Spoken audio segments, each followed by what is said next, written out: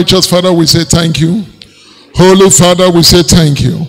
We bless the beauty of your holiness. It is because of you we are not consumed. The arrows that fly in the day, those that fly at night, the pestilence of darkness. You have not suffered us to have encounter with them because you have terminated them. This is the moment of truth. The time we've been waiting for. Father, send down your word that will make a difference in our life in the mighty name of Jesus. Give us your season word that we turn our story around. Is there any blind person here? Let that person see in this service. Let the lame walk. Those looking for a change of status, let there be a turnaround in the mighty name of Jesus. Above all, we pray for the spirit of wisdom. We pray for revelation knowledge. Let our eyes of understanding be enlightened as your word come powerfully in this service. Put wisdom in our minds, put understanding in our hearts. All this we ask in Jesus' precious name we have prayed. Let's give Jesus a round of applause and a shout of hallelujah. As we take our seat in heavenly places, say to your neighbor on your left or right, you are welcome to Living God Covenant Church. You'll be glad that you're in this service because God is said to decorate your flesh in the mighty name of Jesus. Did you listen to those testifiers? Wonderful. Testimonies are the acts of God. There is a proverb in Ghana, they say travel and see. If you don't travel out of your village, out of your state, outside Nigeria, you will not fully appreciate what God is doing. You see, the man of God that came to testify that when he traveled, he saw dead bodies, he saw all, all manners of things. A lot of things are happening. Especially in this time, perilous time. This is a difficult time. They call it the time of uncertainty. The time where people are no longer sure. Every other thing, every other ground is sinking ground. The only sure place is Jesus Christ. And you saw his testimony how he was happy that the young man knew Christ. Every other ground is a sinking ground. The only sure ground, the sure foundation that you you will be happy, you'll be delighted is for you to know God, to know Jesus. When you have Jesus, you have every other thing. You are on a solid foundation. Now, we want to continue our series of understanding the wisdom of God for his mighty power. Tonight we are looking at Psalm 912, Psalm 9112, 912, for those following our series. It is subtitled Overcoming the Enemies of the Wisdom of God. I said the topic is understanding the wisdom of God for his mighty power. I think we are looking at part four. Is it part four part five? Part four, okay. We're now part four. It is subtitled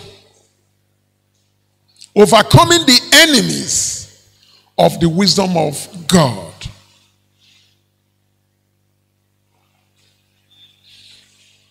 Wisdom, as we know it, is too important very important.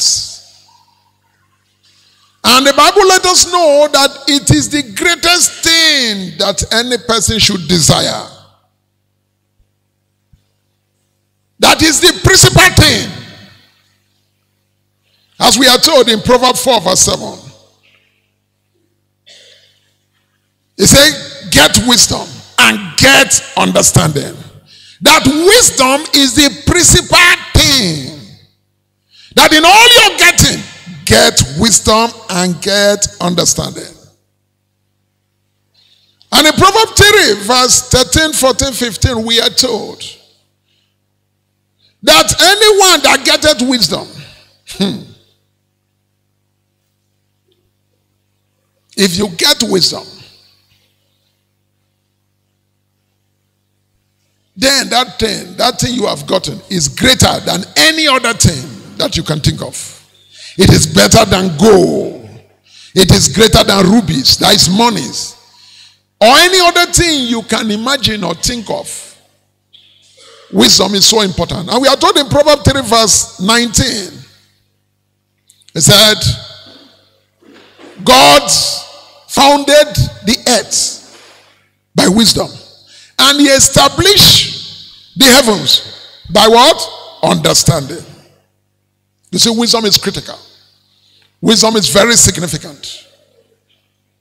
And also, we know from Proverbs 24, verse 34 to 6, we are told how important wisdom is. That it is by wisdom we can build our house. By wisdom, a house is built. Without wisdom, we cannot build our house. Can the smart read Proverb 24 for us? 3, 4, let's enjoy it. He said, Proverb 24 verse. Now listen. He said, true wisdom is a house built. He said, by understanding, that house is established. He said, by knowledge, the chambers of that house, that is the rooms of that house, will be filled with all what? With all pleasant riches. Is it? Now, wisdom is too important for a fool to understand. Wisdom is too high. The wisdom of God is too high for a fool. A fool cannot understand wisdom. The wisest men on earth at the time, they were the Greeks. The Greeks, they were known as very wise people. To the Greek, they said Christ, Jesus Christ, is what? Foolishness. that Jesus Christ is foolishness. The word of God is foolishness. And to the Jews, they said Christ is what? Is a stumbling block. Stumbling block. That Christ is preventing them. Christ is a blockade, is an obstacle for them to serve their God. Imagine, Christ is an obstacle for them to serve their God. They want to serve God without Christ. Not with Christ, without Christ. That is what they want to do.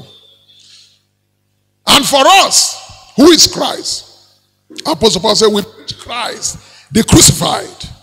That Christ is the power of God and the wisdom of God to all them that are called, to we, the chosen ones. That is who Christ is. The power of God and the wisdom of God. So now, why is Satan overcoming the wisdom of God? Because if you have the wisdom of God, you will be built you will be established. You will enjoy life. You will enjoy the glory of God. And that is what Satan is out to destroy. He doesn't want you. He doesn't want you. He doesn't want you and me to enjoy life. He doesn't want us to have the glory which God has prepared for us. We are told in Colossians 1:27. He said, Christ in you, the hope of what? Glory. So Satan wants to steal that glory. He doesn't want us to have that glory. His target is to remove that glory. He doesn't want us to be established. He doesn't want us. And that is why he's out to frustrate us. It's how to ensure that that wisdom, which is a principal thing, which is so important, is out to take it from us in the in the of Jesus. Now we are told from scripture where we read we read Proverbs 16, powerful scripture. I love Proverbs 16 very well. One of my delight. Because when you look at Proverbs 16, you see so many things there that they're very sweet. It's like taking some ice cream. Proverbs 16. Proverbs 16, verse 2. It says, All the ways of a man is clean in his own eyes. Ayala. Mankind, every man you see, man born into this world, all his ways is clean. Especially when you see men that are old, men that are matured, men that are above 40 and all of that. I say, look, I'm a man of myself. I'm able to direct myself. I'm able to tell, look, look, I'm not a boy, oh, I'm a man. you are a man. No man, whether 40 or whether 50 or 60 or 70 or no man is capable of directing himself. No man is capable of directing himself without God. Without the wisdom of God, you will not be able to direct yourself. Like I've said during these wisdom sermons, the previous one I told you, that mankind is doomed by default. Mankind is doomed by default. Whatever means you used to come into this world, once you are born into this world, you are already doomed by default. Default in the sense that you are born into darkness. And you are born with a dark candle. As we see in Ephesians 5, verse 8. Man is born with a dark candle. Is born with a dark candle. Let somebody read that. Let's see it. Ephesians 5, verse 8. For ye were sometime darkness, but now are ye light in the Lord. Uh, walk as children of light. Thank you very much. So you see, everyone in this world, once you come into this world, you are born darkness. That is, your candlelight is dark. You are born a sinner. You don't need to commit sin to become a sinner. We know that already. You are just born a sinner. The wisdom of God is not in you. You are going to be operating either satanic wisdom or man's wisdom. That is what you will operate. You are either going to operate satanic wisdom or man's wisdom. And the problem is Satanic wisdom or man's wisdom is not able to lead you to God. It's not able to lead you in the paths of life, in the paths of God, in the way of wisdom of God. It's not able. It's not able. Because the mind is defective. The mind of man is defective. The spirit of man is defective. The soul of man, the living soul of man, is doomed because it's incapable of knowing what to do. And that is why there is need for the quickening spirit. Without the quickening spirit, man is doomed. Because man still operate in the last Adam, as we can see in First Corinthians 15, verse 45. He said the last Adam was made a living soul uh, uh, the first Adam was made a living soul, and the last Adam, which is Christ, a quickening spirit. A quickening spirit. And every one of us need that quickening spirit. That quickening spirit is the spirit of Christ, is the Holy Ghost. And that is the spirit of wisdom. Tell your the spirit of wisdom. It's the spirit of wisdom. It is that spirit of wisdom, the wisdom of God. Once you have it, then you are able to be directed. You are able to walk in the path of righteousness. And we are told in Proverbs 16, verse 7. He said, When a man ways pleases the Lord, he will make what? His enemy to be at peace with him. And that is the problem we are having today in the world a lot of people are not doing the things that pleases God. Many people are doing things that God does not like. And when God is not the light in a man, there is problem. When God is not happy with you, when God is not pleased with you, there is big problem. When a man's way pleases the Lord, he will make even his enemies to be at peace with him. That is, you will have peace. But when God is annoyed with you, when your way does not please God, there is big problem. You know, we are told In Proverbs 16, where we read, verse 4. He said, He has created everything for what? For his own pleasure, for his own enjoyment, for his own delight. He said, even the evil, for the day of evil. You'll be wondering, do evil delight God? If God is punishing you, he's not annoyed. he's punishing you, he's not annoyed. Huh? When people that rebel against the government of Nigeria, all those rebel criminals and all of that, and they decide to take them to court and sentence them to, to prison, prison centers. They send them to Kuje prison or any of the prisons. Is the president annoyed? The president is happy. It's very good for you. That's useless person. Him. Just stop him. So you see it. When a man's way pleases the Lord, he will make his enemies to be pleased with him. And that is why when God is pleased with you, he gives you what? Peace. Tell your neighbor peace. You will have peace of mind. When, when God is annoyed with you, when God is vexed with you, hey, problemo. Oh. You trouble him, he will trouble you. He will trouble you. He will make the enemy to come and trouble you. The enemy will trouble you and he will give you vexation of spirit. He will make you to be annoyed. Things will be bad. Things will not be working. Things will be wondering what is happening. Any nation that is always offending God, provoking God, making God, any nation or a people that you see they are not making God happy, God always deal with them. Even his own people. His own people. His own people. So you see it. So that is why we must be careful. We must try to please God. We must try to make God happy. We must try. And the only way that you can please God is to use the wisdom of God. It's only the wisdom of God that will be able to direct you. Without the wisdom of God, you will not be able to be directed. Like I said, mankind is not able to direct itself. I've said before, I said, my philosophy and it's the same with that of the Bible if you look at it.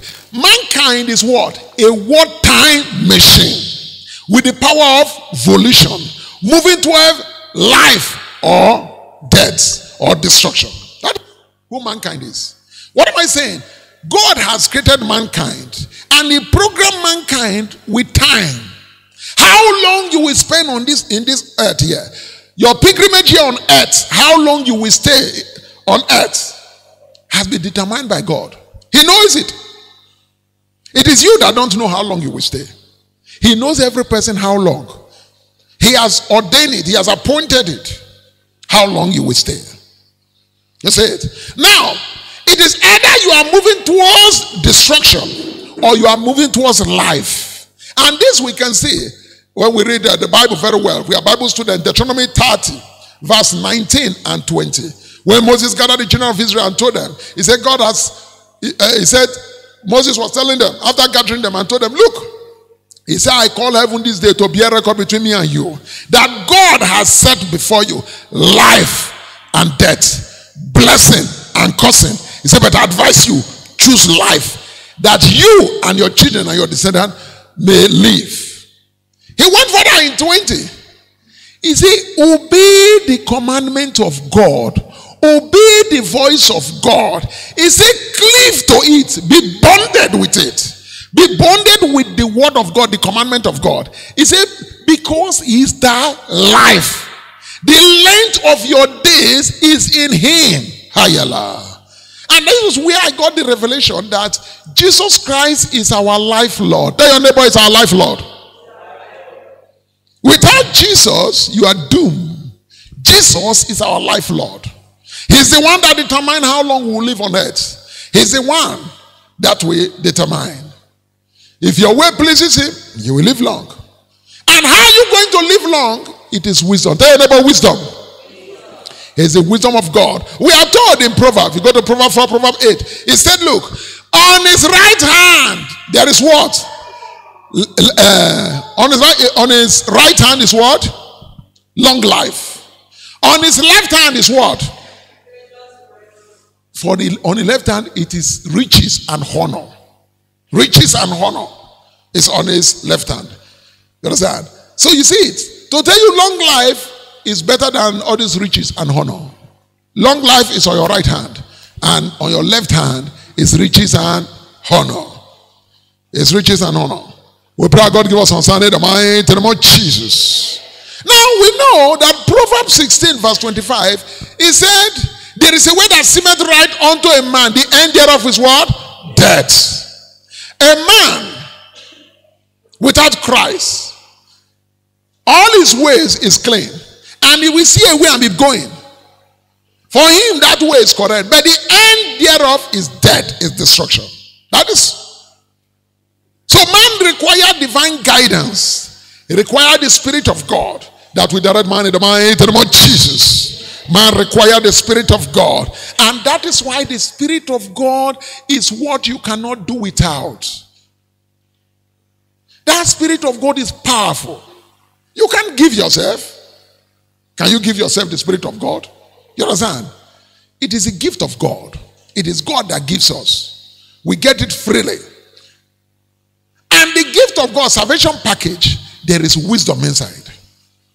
There is the spirit of wisdom, the spirit of revelation knowledge. All these things are inside. The spirit of quick understanding, the spirit of the fear of God. Everything is encapsulated inside.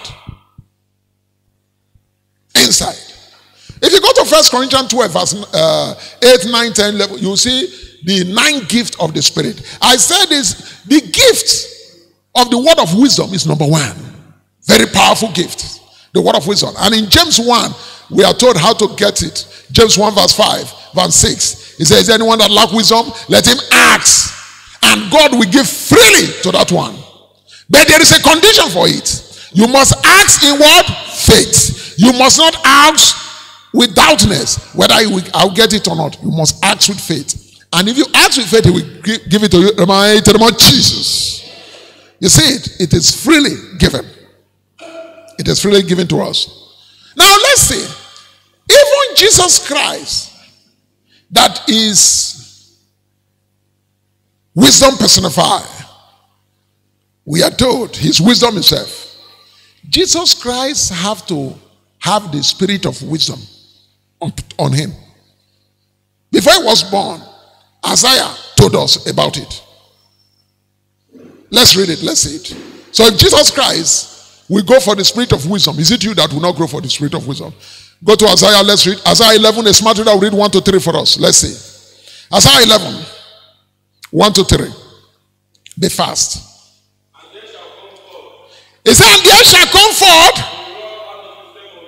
a rod out of the stem of Jesse, and a branch shall grow out of his root. Listen, oh, who are they talking about? Who know? Huh?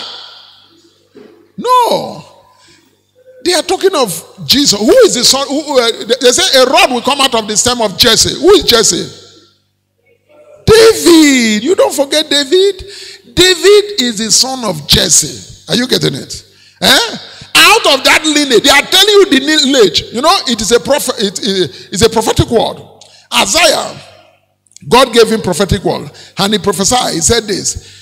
Now a rod will come out of the stem of Jesse. He's talking about David. David is going to be anointed king. Then out of that, this is the lineage of David. You understand? He's talking of the covenant lineage. He said, now a branch, something will come out. What is it? A branch shall grow out of his root. Hayala. Listen. He said, The spirit of the Lord will rest upon him. The spirit of wisdom and understanding. The spirit of counsel and might.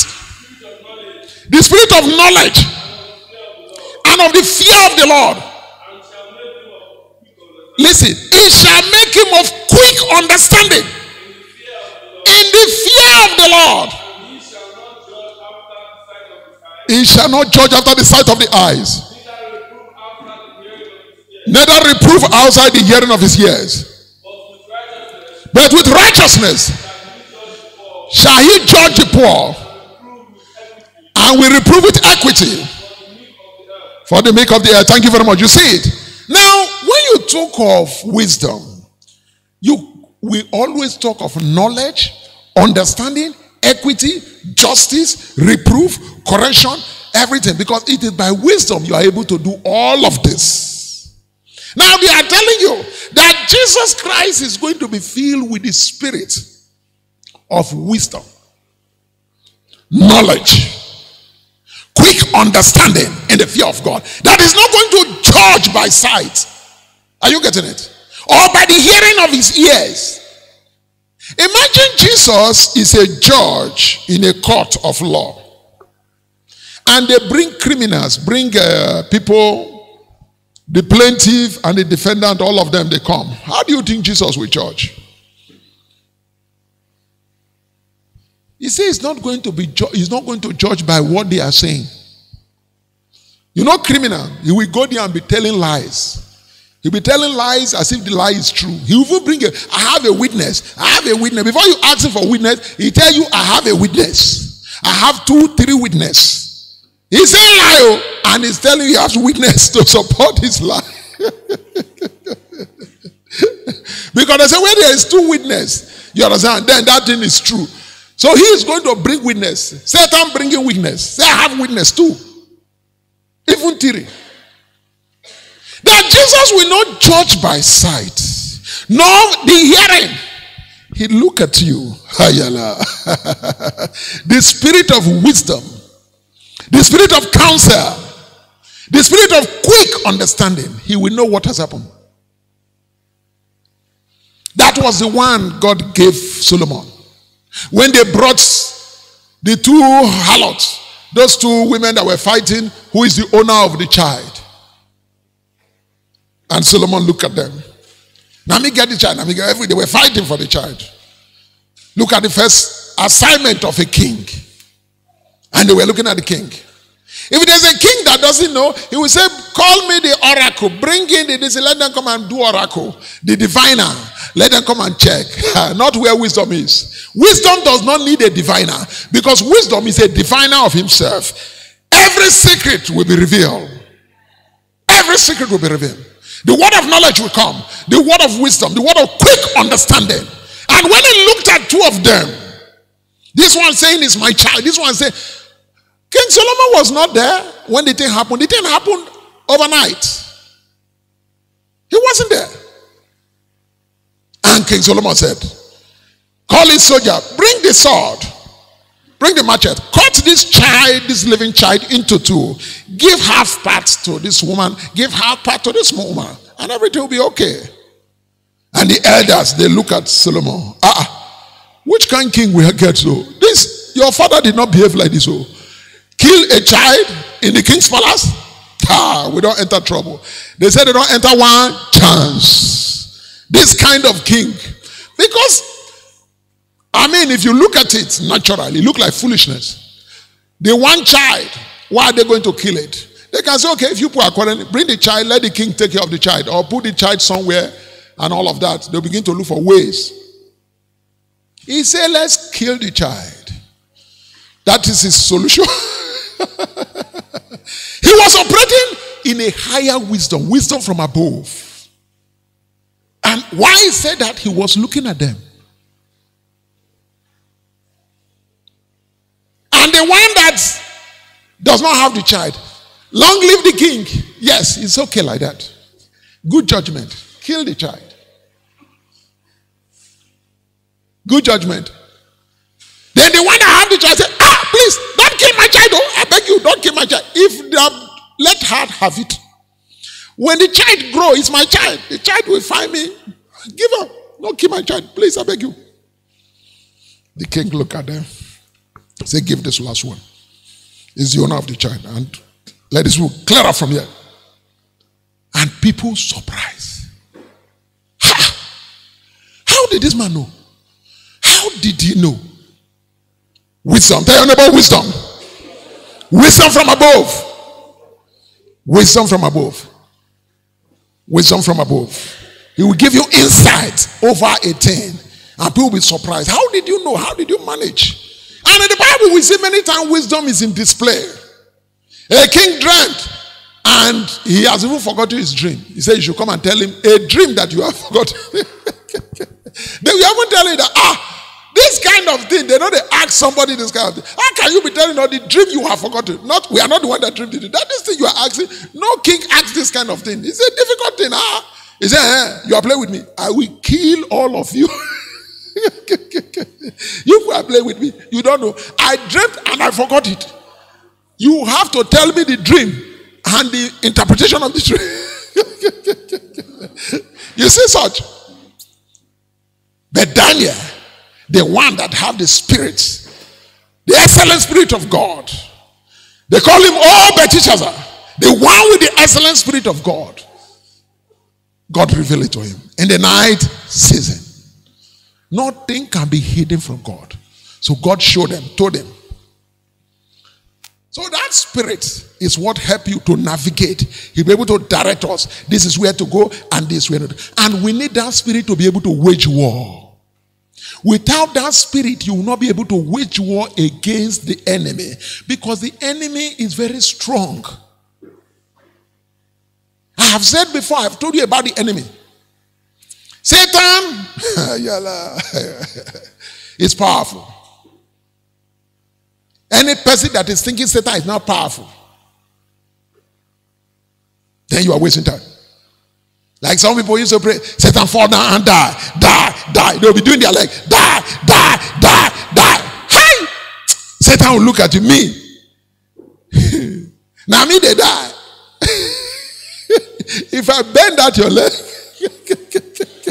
you will not do Satan fall down and die again. look at you, a mortal being telling me a spirit to die. Is that possible? Huh? Did you see throughout the Bible from Genesis to Revelation? Did Jesus kill Satan anytime? So it is ignorance. You want to kill Satan. What do you do with Satan? Who can tell me? What do you do with Satan? Huh? Somebody say bind him. Of course, you can bind him, which can chain him. You understand? You can chain him. But depending on the Satan mode, there are many different ones. If you go and meet a powerful one, you'll not be able to chain him. if you chain, you will break chain. you can cast him. Yes, it's a spirit. You cast out spirit. You resist him. Say, resist the devil, and he will flee. You will fight Satan with understanding. You need wisdom, a superior wisdom to fight Satan. You need a superior wisdom to fight Satan. You don't just fight Satan with anyone. And the Bible made it clear. The Bible understand. And that is why Apostle Paul always tell us, do not be ignorant of the device of the devil. And this is what he told us in uh, Ephesians. In Ephesians, he made it clear to us. Ephesians 6, verse 12. Even from 10. He said, put on the whole armor of God. God. You have to put on the whole armor of God. He said, we wrestle not against flesh and blood, but against what? Principalities and power.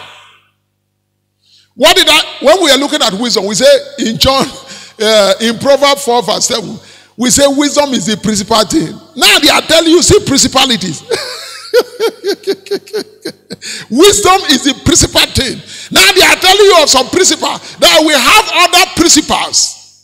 That we wrestle not against flesh and blood, but against principalities and power.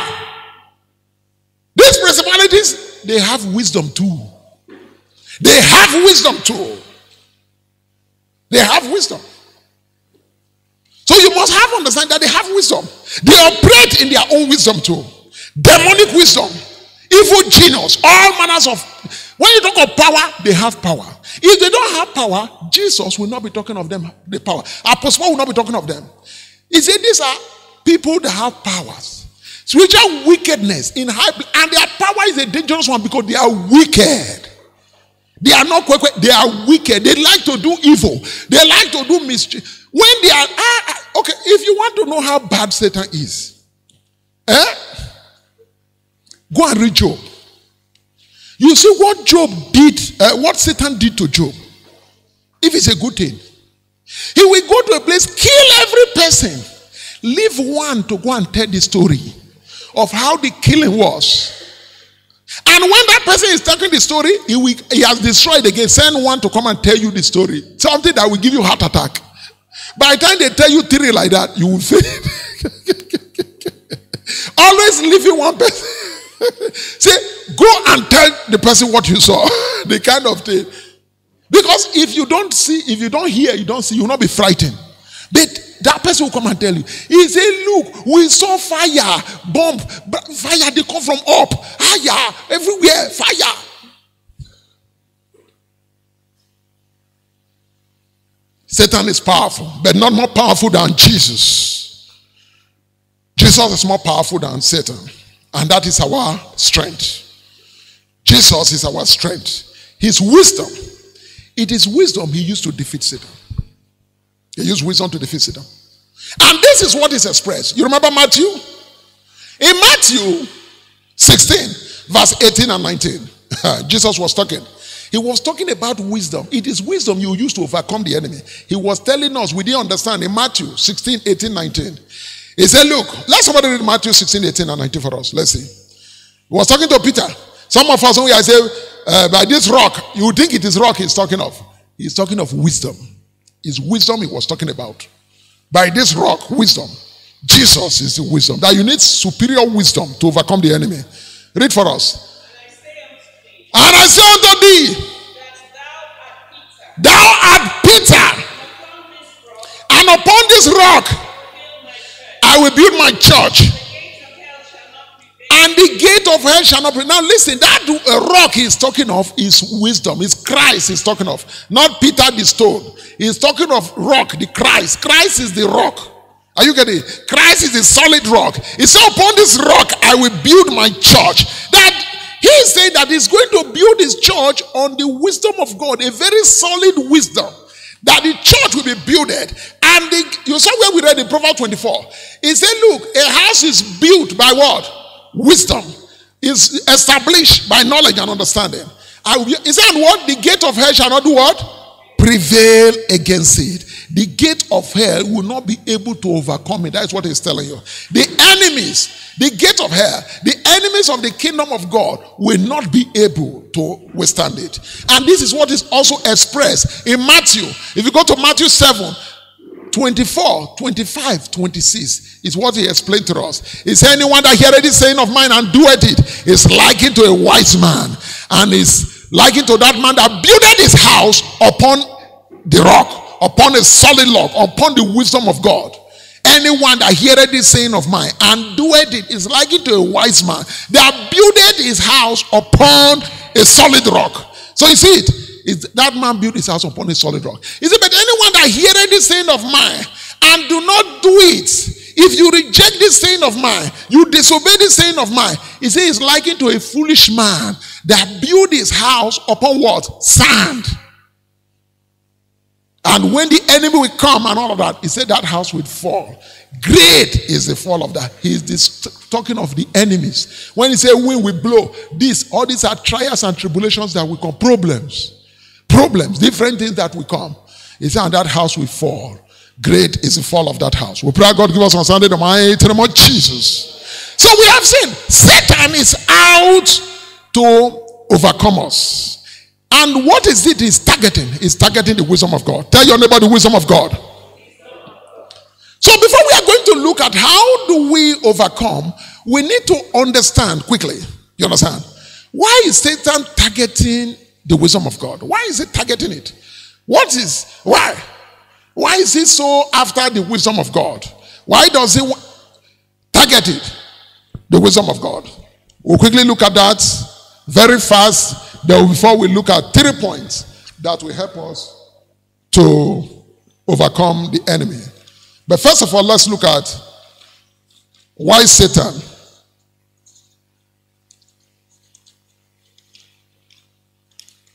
We have to move quickly. Today is midweek service. Let's move quickly.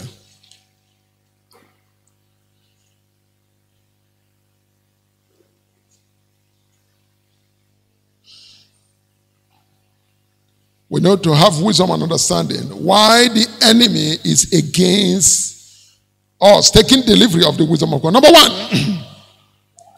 his mission is to prevent you from the light of God. That is the gift of salvation. You know, the wisdom of God is the gift of salvation. It's inside. I told you it's part of the package. It's a premier package. Everything is encapsulated inside. Salvation. When you hear salvation, the wisdom of God is inside. We are told in 2 Timothy 1 verse 7. He said, God have not given us the spirit of fear, but of what? Of power and of love and of sound mind. That sound mind is the wisdom of God. Everything is embedded. Now, Satan is out to see that the light of God does not come to you. And what are the scripture for that? Of course, we can see in Second Corinthians 4, verse 4. He said, In whom the God of this world blinded their minds and hearts so that the glorious gospel of Christ is not reflected on them. Satan is out. He doesn't want the light of God to come to you. He doesn't want. Also, we remember in Job 33 30, he said to withdraw his soul from going down the pit to be enlightened with the light of the living.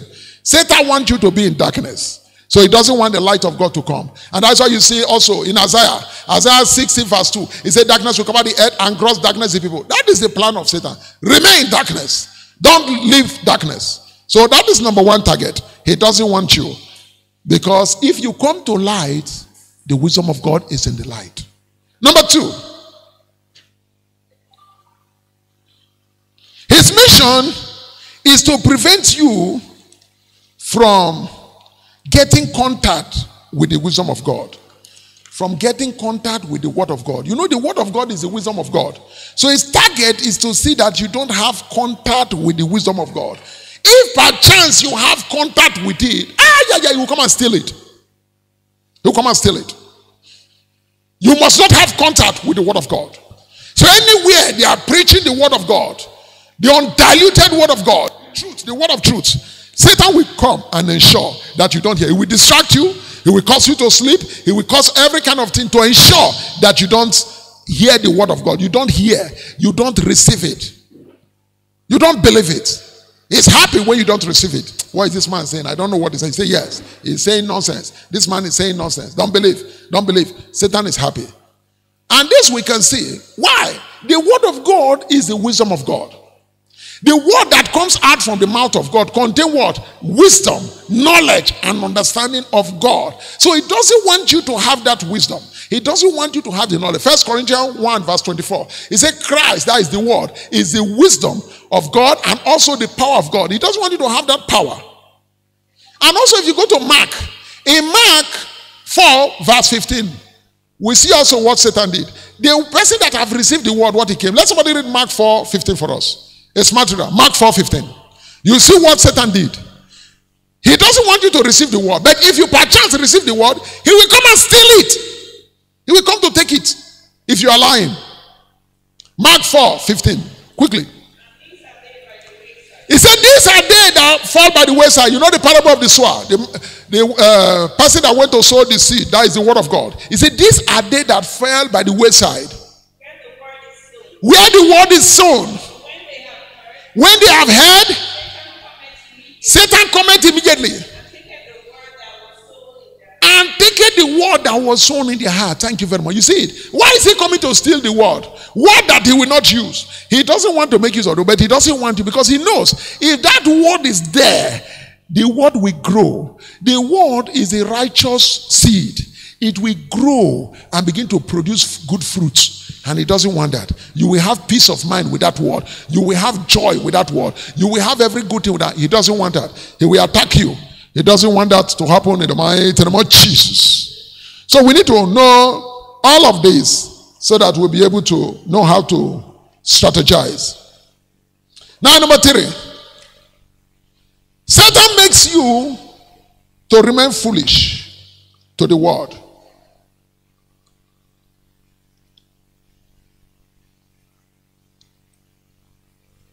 He does not want you to hear the word or the wisdom of what?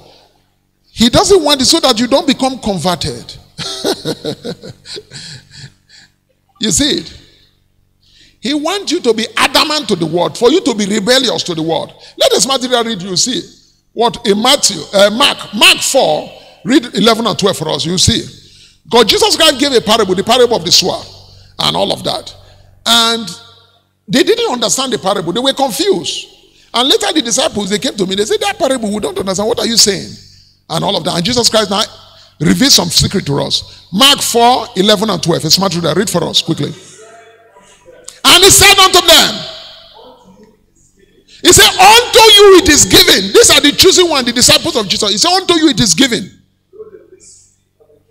to know the mystery of the kingdom of God. You know the mystery. Wisdom is a mystery. We've seen that before. First Corinthians 2, verse 7. That the wisdom of God is the mystery, the hidden mystery of the kingdom. Uh-huh. He said, Unto you it is given to know the mystery of the kingdom. He said, Unto them that are without, those that are without. Uh-huh. He said, All things are done in parable. Continue.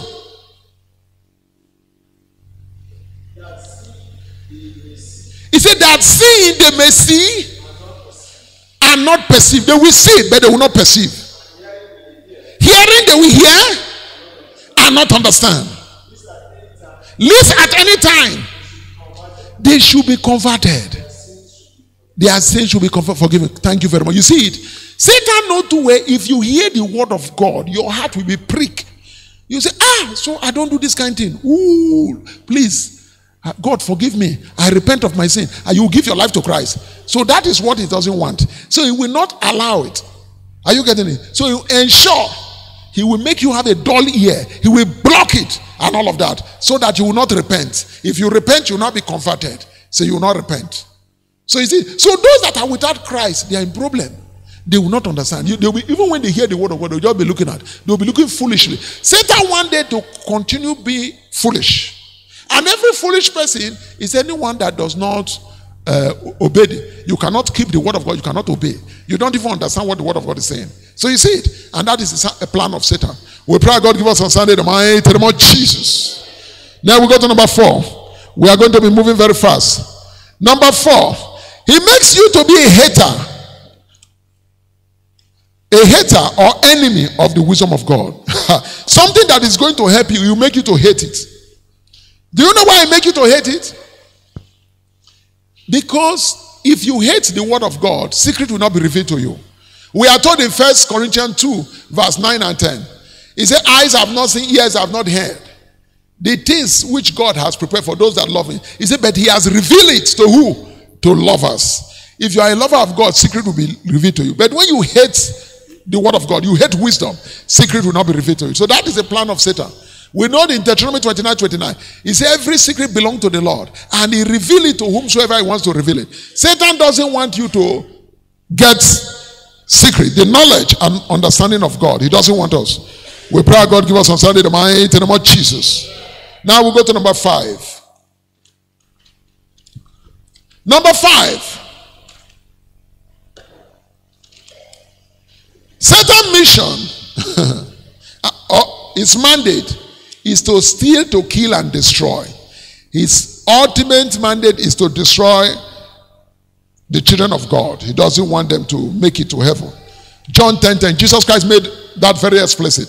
He said, The thief cometh to steal, to kill, and destroy. But I have come that they may have what? Life and have it more abundantly in the name of Jesus. Number six, the enemy wants you to commit sin. Satan, the devil, and his cohort, they want you to commit sin.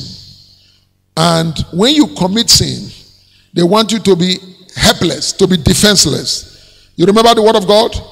In Isaiah 59, verse 1, he says, Not as if God's hand is too short. He said, But your sin has separated you from God. So that is the plan of Satan, so that when you commit sin and you do not repent, God will separate himself from you. Deuteronomy 28, verse 10, the same thing. Second Chronicles 7, if you look at 14, the same thing. Now we go to number 7. Number 7, Satan will cause you to fear him and glory him instead of God. and because of that, the wrath of God will be upon you. You see, people that are praising Satan, people that are promoting the enterprise of Satan. You see, when you are promoting the enterprise of Satan, what did the Bible say? It says wisdom will promote you, will give you honor. But The reward of foolishness is what? Destruction. the reward of foolishness. The reward of wisdom is promotion. But the reward of foolishness is destruction. Satan is out to destroy us, and we must not allow him to do that in the mighty of Jesus. You see, all the things, these are the strategy. When you know this strategy of Satan, you will avoid it. You will know how to overcome Satan in the mighty name of Jesus. And we are looking at the last one here. The last one for this. Okay, I think number seven is the last one. Number seven is the last one. Also, let me give you scripture. Second Samuel 22, 18. Then Psalm 18, 17. Uh, let somebody read Psalm 18, 17 to us. Let's hear. Psalm 18, 17. Psalm 18, 17. You know, like I told you, Satan is very strong. Satan is powerful. Don't think Satan is not powerful. It's powerful. You see Psalm 18 telling us about the enemy that it's too strong for us. It's too strong if God does not help you. I you, say, this is, he said, He delivered me from my strong enemy. For them which hated me. For they were too strong for me. Thank you very much. You see it? It is only God that can deliver us from this enemy, Satan, the devil, because he's a strong enemy. He was a strong enemy. So he'll be able to deliver us in the mighty name of Jesus. Now, quickly, we have looked at the strategy of Satan. Now we know his mission. We understand his way. How do we overcome him? Quickly, we are just looking three points. How to overcome him. Number one, you must have the wisdom of God inside you. You must have the wisdom of God inside you. And this we can see in Colossians 1, verse 27. It says, Christ in you, the hope of glory. For you to succeed in this kingdom, you must have the wisdom of God inside you. You must have Christ inside you. You must have the power of God inside you. Without that, a, there's a problem. There's a problem. And how can we have the wisdom of God inside us? We must be born of God. It is anyone that is born of God that is able to have the wisdom of God. You remember what Jesus told uh, Nicodemus in John 3, from 3 to 6? He says, If a man be born again, he cannot see the kingdom of God. Except a man be baptized of water and of spirit, he cannot enter the kingdom of God. So you need to be born of God. You need to be born of God. That is number one. If you are not born of God, we will not be talking. Is there anyone that is born of God? Is it not that person that is in light? You are in light. Are you getting it? Light is in you. You are in light. The light of God is inside you. We are told in uh, Isaiah 60, verse 1 and 2. It says, Arise and shine, for your light is come. Darkness will cover the earth and gross darkness. We say, But for you, arise and shine, for your light is come. Number two. Number two, you must be inside the wisdom of God. You must be inside the wisdom of God. You see, the first one I said, Christ will be inside you. You understand? That is, you have knowledge and understanding of Christ when the Christ. But this one now, you have to be inside the wisdom of God and the power of God. And to be inside, you will see the word of God let us know. In Second Corinthians, there are three ways we can be inside. Let me explain that for us so that we can enjoy it. For you, when we say be inside, the inside. Some people are outside. If you are outside and Christ is inside you, Satan can draw your leg. When you are sleeping, you begin to draw your leg. So it's better to be inside. Tell your neighbor it's better to be inside. And to be inside, these are the things you need to do. You must love Christ. You must love wisdom so much you must cry after wisdom. You must seek wisdom as if your life depend on it. You don't play with wisdom. You must search it. You must prepare it. You must declare it. You know what we talked about wisdom? How to do wisdom should be your delight day and night. You will be a lover of wisdom. You must love wisdom too much. Everything, when people see you, you are a man of wisdom. Are you getting it? Solomon was a man of wisdom. Solomon, they said, look, Solomon, everything, he was studying everything. And when he was studying it, he was doing it with the wisdom of God. And this we can see in Second Corinthians 5, verse 14 up to 17. He said, The love of Christ constrained us, the love of Jesus discipline us, constrain us, and we does judge. If one die for all, then we are all dead. Because Christ died for you, you no longer live according to yourself. You live according to the wisdom of Christ, wisdom of God. You see it? He said, if any man be in Christ, if you are inside the wisdom of God, you are what? A new creature. If you are inside the power of God, you are a new creature. He said, All things are passed away and all things become new. You become an indomitable spirit. That spit fire of redemption. Satan cannot get to you. He must meet Christ first before he come to you. You are not inside Christ. This is what is explained. You, you know, if you go to John, in John 15, we are told, in John 15, verse 7, he said, If you abide in me, I abide in you. If you enter me and I enter you, Hayala. Are you getting it? Let somebody read it for us. Let's see. Uh, John 1, John 15, verse 7. If you guys, if you enter me and my word enter you, you shall ask whatever you will, and it shall be done unto you. There is my Father glorified, that you bear much fruit. So shall you be my disciple. As the Father has loved me, so have I loved thee. Continue. You see, love is talking about you will love God so much. Eh? In fact, you are inside. You and read five for us. Let's enjoy five. I like where he say, "Without me, you can do nothing." yeah. He said, He said, I'm divine. Ye are the branches. If you abide in me, and I in you, the same bringeth much fruit. For without me, you can do nothing. Thank you very much. You see it? Without the wisdom of God, you can do nothing. You cannot overcome Satan. How, how you want to overcome Satan? When even Satan, uh, that is uh, the angels of God, eh, they cannot overcome Satan without Jesus. You ask yourself, if the angels of God, they cannot defeat Satan without using the wisdom of God, eh? is it you that will be able? So you see it. Because it is power past power. Wisdom past wisdom. We pray God give us understanding the mighty name of Jesus. Now we move. I've given you scripture for that.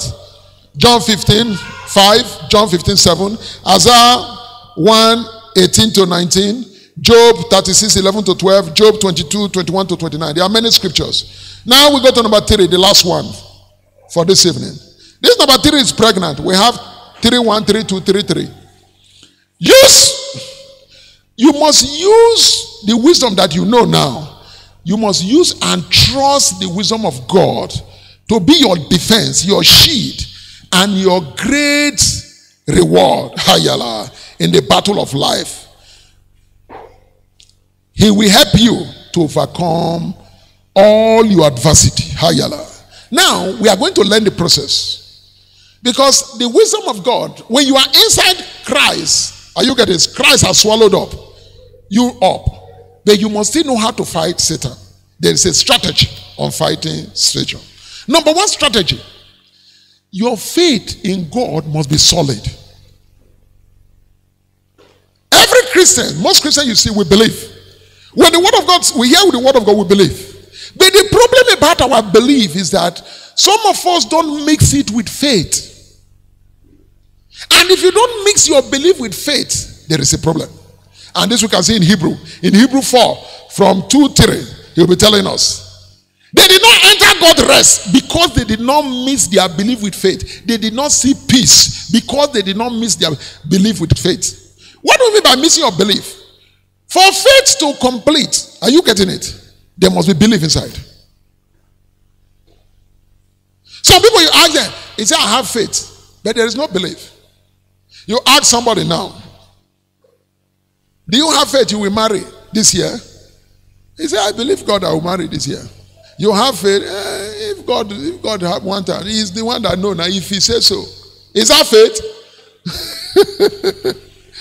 is that faith? You see it? Whenever you hear faith, it's now. You say it with confidence. It is because you believe, you have faith, that this year I'm marrying, this year. This year I'm doing my wedding. To tell you I mean what I'm saying, I can give you the date that this year, by November 22, November this is my marriage. Is that you are so sure? Of course. That's why I gave you the date. That day is my birthday, and that is the day I want to do my wedding ceremony. You don't see the wife? Ah, uh-uh. the wife is coming. She's on her way coming. you don't see the husband. Ah, uh-uh. the husband is available. It's coming. Are you getting it? You don't even have a wife. You don't bet by faith. Because of the belief, you believe, you speak, and you begin to walk towards it. And you'll be shocked. It will happen. It is a confidence. The same way you say, My job this year, Hayala, I know the person, I must get my job this year. I must get my job. The word of God, you speak the word of God until it come alive. When I say, what? Ah, you get luck. Oh. Is it luck? It is not luck. If now luck, go use luck, buy car. They get for parking lot. When you do that, say, okay, this car, I have faith, give me. Make it slap you. not luck.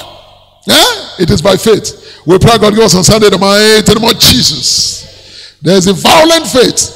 It says, from the time of John the Baptist, the kingdom of God suffer violence. But violence, take it by force. Whatever you demand, you want, God will give it to you the mighty name of Jesus. In this our era of light, God will light you up in the mighty name of Jesus. So now you must miss your belief with faith. Now, to support what I'm saying, Hebrew 11. What did Hebrew 11 tell us? Hebrew 11 by, uh, verse 6. He said, without faith, it is impossible to do what? Please God. Is anyone that coming to God must believe that he is? Higher. What do you mean by he is? When they are talking of God, God is not a president of a nation. Are you getting it? Say, like we have uh, the president of Nigeria, the president of Cameroon, the president of Ghana, the president of uh, America. That is not God.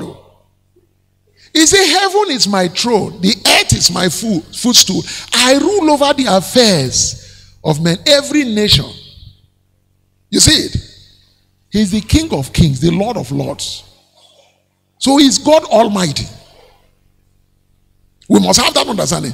You must know who God is. You say, anyone that cometh to him must believe that he is, and is what? A rewarder of those that diligently seek him a rewarder of those that diligently seek him. And what did the Bible say? He told us in First uh, John, verse 5 4. He said, Whosoever is born of God overcometh the world. And this is the victory that overcometh the world, even our faith. This is a victory that you need faith to fight Satan. You need faith. Without faith, you cannot fight Satan. We pray God give us on Sunday the mighty name of Jesus. Your victory is in your faith. We pray God. Now we finish faith. We go to 3 2. Seek God help in time of trouble. Mark 7 7 to 8. He said, You have not received because you have not asked. Ask anything, you will receive it. We are told in Psalm 46, verse 1. Psalm 46, verse 1. He said, The Lord is our very present help in time of what? Trouble. In this world, there is trouble, there's tribulation. We are told also, is anyone that will live godly in Christ will suffer what? Persecution. There is always persecution, trial and tribulations. Lock yourself inside, a problem will come. You they work out for us, say, I don't want to offend any person. They will offend you. They will pour water on your body. They will insult you. I'm telling you, that is how the world be. You that say you don't want to offend any person, you are trying to be JJJ, they will match your leg. Say, ah, then we say, ah, you match my leg. You say, hey, you know they talk. I say, make I see you whether you know go talk. Eh? That's you know they talk. Is that why you match my leg? Yes, I want you to talk. Make I hear you talk. so that is it. So we must be diligent. You understand? We must know that God is with us in the mighty name of Jesus. God is always with us in the mighty name of Jesus. So we should not fear their fear. We must seek for God help. God will help us. There are matters we cannot handle by ourselves. That is the truth. If you are trying to handle it, let me give you number one. Matters you cannot handle. How many of you can provide for themselves? Can you provide for yourself? Me, I cannot provide for myself. You think the salary you are receiving that is taking care of you? The salary. Is there any person the salary is enough? Let me see your hand. Is enough for you at the end of the month? the salary is never enough. Some people, when they earn 50,000 per month, they say, if only I can earn 100. When the money increased to 200, ah, 200 small. My problem is more than if I can earn 300. The money increased to 300. eh? When it is 400, they still be saying falling. There was somebody working any 400. He was still coming to borrow money from our cooperative. A lady working with GT, he earns 600. When he came to come and beg for facilities and all of that, I saw he brought a pay slip. I said, How much is that? 600 or something thousand per month. I said, What do you do with it? He says, ah, My problem is many. Oh. I said, What are your problem? He said, My car, I'm financing it. My this, my that. I have two people living with me. The money is not enough. you have only two people living with you, and the money is not enough. What are people like six, seven, eight on one person? this is somebody earning 600,000, a banker. The money is not enough. And he's com- she's coming to borrow. She will pay this, pay this, pay this. I said, like a month, how much do you spend? He said, ah. He said, when I check my expenses, it's about 800,000 every month. She's earning 600. Her expenses monthly is 800. I said, how do you do it? He says, God that is helping. It is difficult. It's difficult. You see it? You think that lady, if they increase her salary to 800, the problem will go to 1 million. you go. There are people earning a million, 2 million. Eh? Some people in this country, they pay them in foreign currency. If you know how much they receive in a month, if they give you, you will think, you will just start, first of all, you think, before you know, your mouth will go to that level. You see it? Your mouth will begin to, things that you need to manage, you will not manage again. You see one fine car, say, I like that car. I like this. I like that. I like this. Your eyes, covetousness. Before you know problem, we pray God help us in Jesus' right today. Ah, okay, so we must seek God help. Another scripture for seeking God help. You remember Psalm 121. I will look unto the hill where cometh my help. My help is from the Lord. Then the last one in this three, three, three. We look at the last one. You overcome by the blood of the Lamb. you see, you need to learn how Satan and how the angels of God defeated Satan, as we, we are told in Revelation 12, verse 11. We are told they used three things. Three, their strategy was three. Number one, they overcame by what? The blood of the Lamb. Are you the owner of the blood? Eh? you want fight Satan, you need the blood. and you are not the owner of the blood. If you are an unbeliever, will you plead the blood? Will the blood come to you? An unbeliever say, the blood of Jesus, the blood of Jesus. The blood cannot work because he's an unbeliever. He has nothing, he cannot call the blood. So we need the blood of Jesus. And also, they overcame by the word of their testimonies. The word of their testimonies. You must speak what the word of God is saying. You saw Jesus Christ, how he defeated Satan. In Mark, in Matthew 4, you will see it when he fought with Satan. In Matthew 4, you saw it. It is written, it is written, it is written. Now, when you speak what the word of God say, the word of God say this, the word of God say this, the word of God, that is what you use. It's your weapon. If you see how you fight in Ephesians 6, verse uh, 12, 13, 14, 15, you see it. He said, You take the sword of the Spirit, which is the word of God, is what you use to fight Satan. The word of God. Without the word of God, how can you fight? What is your weapon? Which are you going to throw? When you throw to you, wait you throw to that. You understand? So it's the word of God. You use the word of it is written. It is written. You use it to fight the enemy. You use the word. Now the last one is you hear me? I say suicide mission in Christ. When you are going to fight Satan, don't try to save yourself. Are you getting it? Some people they want to fight, they will try to save themselves. If you fight Satan trying to save yourself, then you will lose it. And that's what the Bible says. It said, look, Jesus is speaking that if you try to save yourself, you will lose your life. But if you surrender to me, your life, I will keep your life for you in the name of Jesus. That is a secret of battle. And that we call it suicide mission. A suicide person is a dangerous person. When you fight suicide fight, people take away, they run away. That was a fight the angels of God fought with Satan. And Satan the devil and his court, the angels, all those fallen angels, they were surprised. They've not seen that kind of fight before. This is suicide mission. If I die, let me die.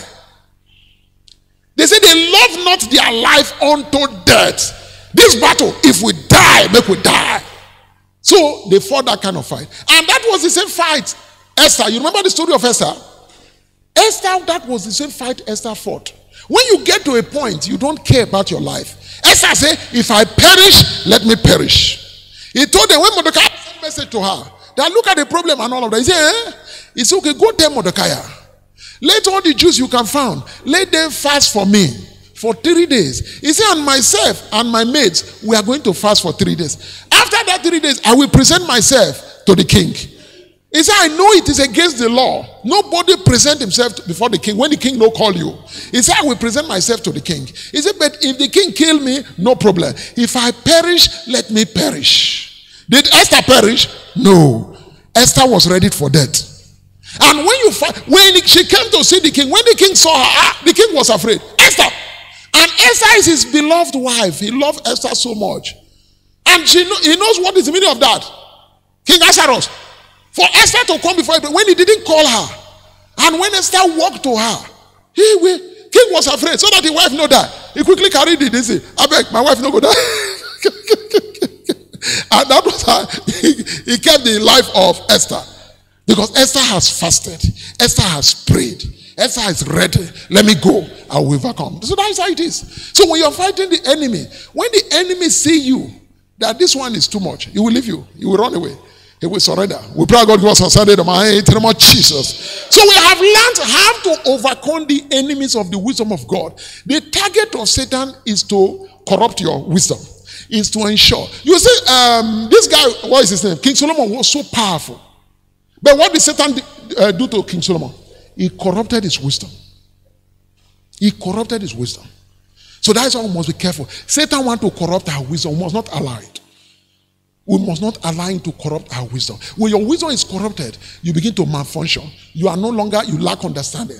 What is the lacking of understanding? Um, King Solomon know to go and serve other gods is evil, but he was going to serve them. You see it? So that's why we must guard our wisdom. We must follow after wisdom and guard it with all diligence in the mighty of Jesus. Let's give Jesus a round of applause. Father Lord, we thank you. We bless your holy name. We appreciate you. We have learned the secret of overcoming the enemies of the wisdom of God. Lord, King of glory, we do not close our service without giving opportunity. If anyone is here or those viewing us online, if you know you want to give your life to Christ, we are calling three categories of persons. Number one, you want to be born again. You've not given your life to Christ before. You want to accept Jesus as your Lord and personal Savior. Number two, you were born again and somehow you backslid went about doing what you are not supposed to do. You want to be reconnected back with Jesus. Number three, you do not know your status. If Jesus is to come right now, you are not sure if you rapture with him.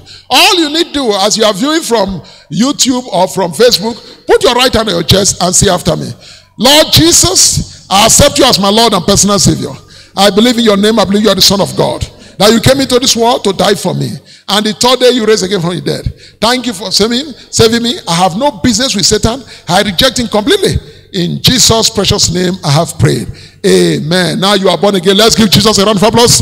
If you know you've done this prayer online, all you need to do is to look for a Bible believing church and attend. But if you are in our neighborhood, our vicinity, you come to our church, Living God Covenant Church, True Chapel International. And as you come, you'll be blessed mightily in the mighty name of Jesus. Everyone here that you know you've uh, made that declaration, come out quickly. Let's give Jesus a round for us. Come out quickly. Let me pray for you. Let's give Jesus a round for applause. I have prayed